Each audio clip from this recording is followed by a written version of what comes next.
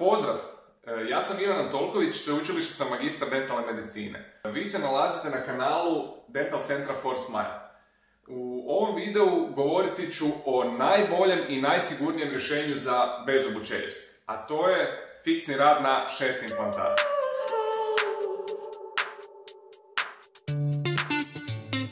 Što je to fiksni rad na šest implantata? Fiksni rad na šest implantata je rad kojim se obnavljaju svi zubi gornje ili donje čelisti. E, on je izrazito dobar i dajemo mu prednost pred svim ostalim radovima za bezobu čeljust zbog toga što daje osjećaj obnovljenog prirodnog osmijeha. E, fiksni rad na šest implantata izrađuje se tako da se šest implantata u jednoj čeljusti postavi na određena mjesta i nakon toga se e, na te implantate sidri keramički most. Taj keramički most je najčešće iz 12 članova, znači obnove se zubi od 6 do 6. Kako znate, jeste li kandidat za fiksni rad na šest implantata? E, na besplatnom prvom pregledu, e, pomoću rengenskih snimki i kliničkim pregledom mi možemo utvrditi da li ste vi kandidat e, za takav jedan fiksni rad na šest implantata.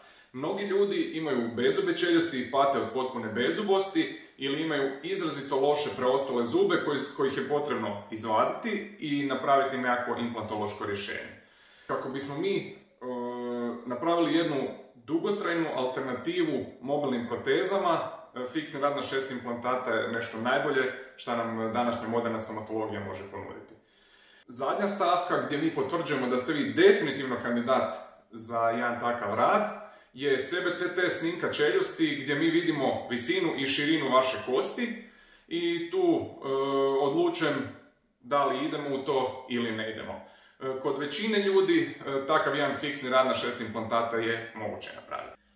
Zašto je fiksni rad na šest implantata najbolje i najsigurnije rješenje za bezobu čeljust? Takav rad je izrađen od keramičkih krunica, one mogu biti ili metal keramičke ili cirkon keramičke. E, također, fiksni rad na šest implantata najsigurnije je izvediv rad od implantoloških radova. E, takav rezultat je dugoročan.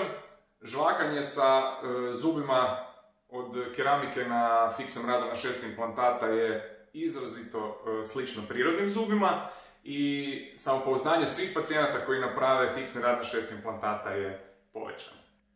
A koje su kontraindikacije za fiksni rad na šest implantata? Prva kontraindikacija, e, kao što smo već naveli, je ta u nedostatku visine i širine kosti. A nekakve opće kontraindikacije za dentalne implantate također nam daju kontraindikacije za ovakav rad, a to je najčešće nekakav nekontrolirani diabetes e, ili osteoporoza. Pretplatite se na naš kanal Dental Centra for Smile, stisnite zvonce pored i dobit ćete obavijest o našem novom blogu.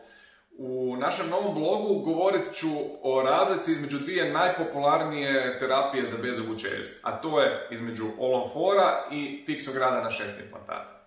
Hvala vam što nas pratite i ukoliko želite da obradimo neku temu koja vas zanima, pišite nam dolje u komentarima ili na mail info.forsmile.hr Dođite na besplatan pregled i krenimo zajedno do osmih.